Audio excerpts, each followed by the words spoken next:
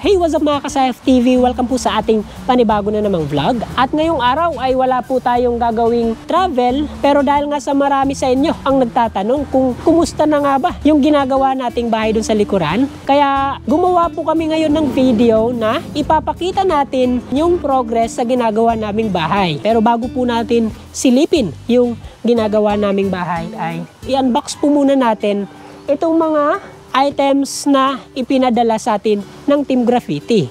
Ayan. So, ito po yung mga items na ipapag-giveaway namin sa ating mga solid Kasef TV.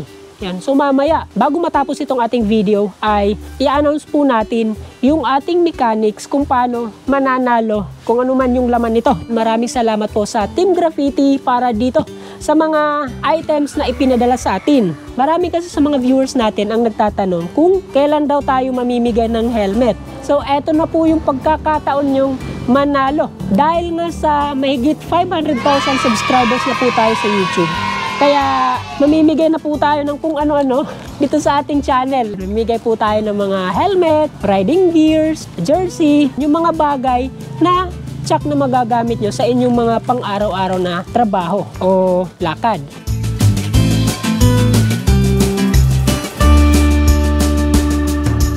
Wow! Bubungad kagad sa atin itong ICC sticker. Wow! Glossy! So dual visor na po siya. Meron siya dito sa labas at meron din dito sa loob. Tapos dito, tingnan nyo, parang kotse. May grill. Ito yung parang napansin ko sa kanya na medyo kakaiba. Kasi yung mga naunang model ni Evo ay medyo simple lang yung mga ganito dito. Pero ngayon, makikita nyo naman, no? Talaga namang lagyan na ng style.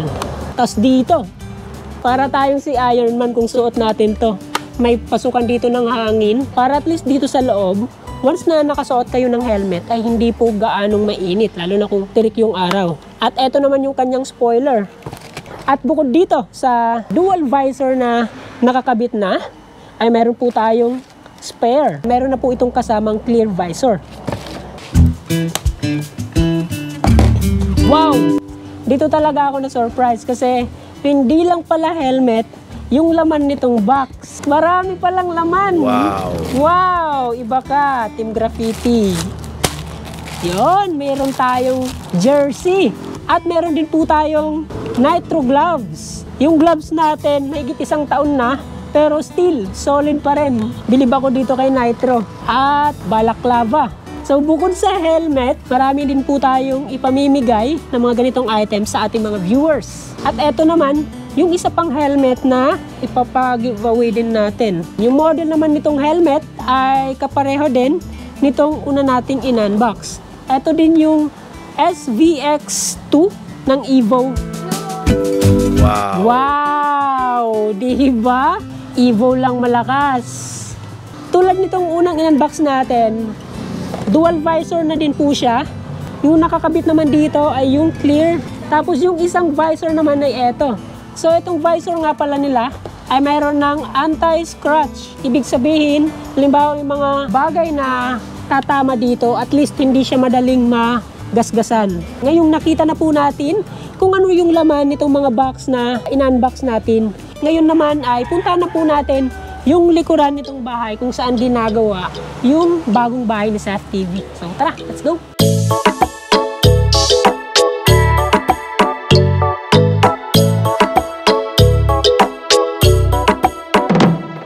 Nakikita nyo naman yung view dito.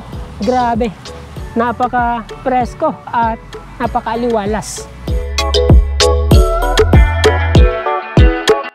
Nandito na po tayo sa bakuran ng bagong bahay namin.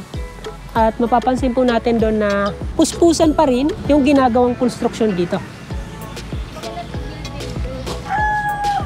So makikita nyo po gumagawa na sila ng swimming pool. Ito po yung ating foreman. Foreman slash engineer slash architect. Siya na po yung nagbasa ng plano para at least maitayo yung bahay na naayon sa plano. Yan. So kung dati, nung nag-vlog tayo, ay etong mga bakal pa lang yung nakatayo. Ngayon, makikita nyo naman na medyo umuusad na yung construction na ginagawa dito. So, eto naman yung pinakasala namin. Ayan. Ito yung ah, master's bedroom. At dito may sariling CR. At eto, yung mga bintana ay glass po yung ilalagay natin dyan. At dito, yun, glass din po yan. Para at least ma-appreciate naman yung view na makikita dito sa labas.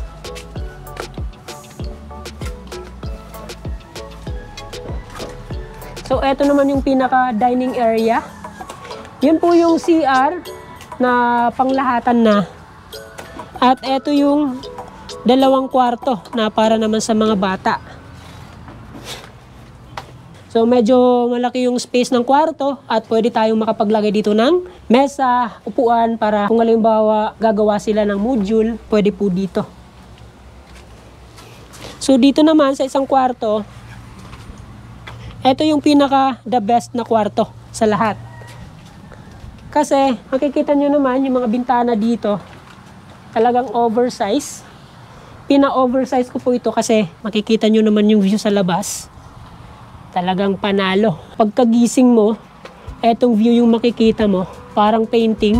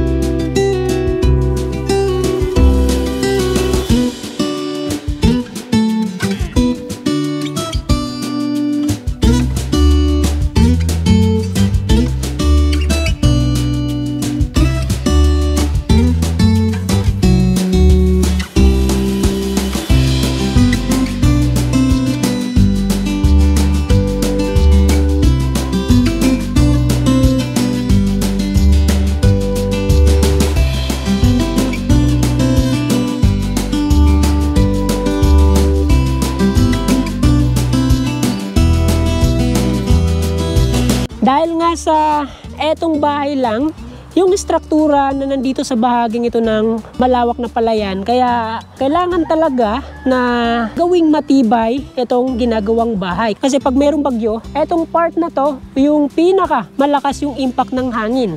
Kasi nga walang obstruction dito sa unahan, nanggagaling po dun yung hangin at bumubuelo papunta dito. Kaya importante na matibay yung strukturang ating itatayo sa bahaging ito ng palayan. O habang ginagawa yung bahay, nagtanim na rin po kami ng mga punong kahoy para sa susunod ay hindi na po masyadong mainit itong part na to ng palayan. Bukod dito sa mga punong kahoy na tinanim namin ay meron na rin po dito mga prutas tulad nitong pinya at etong strawberry. Yon, sinubukan namin kung mabubuhay itong strawberry pero tingnan nyo naman, talagang buhay na buhay. Ibig sabihin, gusto po nila yung lupa dito.